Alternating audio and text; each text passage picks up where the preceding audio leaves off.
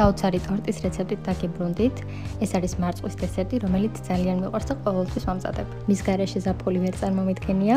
ახლა კი შევუდგეთ მომზადებას და პირველ რიგში გავაკეთოთ ბისკვიტი. 10 კვერცხის ცილა გავთქვებოთ ცოტაოდენ მარილთან ერთად. თავიდან გავთქვებოთ დაბალ სიჩქარეზე და შემდეგ შეგვიძლია მოვუმატოთ. როდესაც მივიღებთ ბეზე სტრუქტურას, დავუმატოთ 10 სუფრის კობზე შაქარი. შემდეგ კი თანდათანობით დავუმატოთ 10 კვერცხის გული. ბოლოს კი დავუმატოთ 10 სუფრის კობზე ფქვილი, მოურიეთ კობზის საშუალებით, რათა უფრო ფაბუკი მასა მევიღოთ.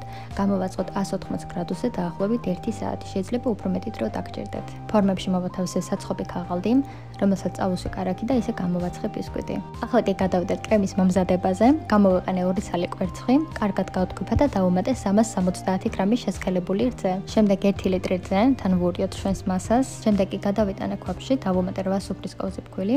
გავხსნათ კარგად რად არ მივიღოთ კოშტები და დავუდგათ ძალიან დაბალ გაზზე და ვურიოთ განუწყვეტლივ. ვურებთ მანამდე სანამ მასა კარგად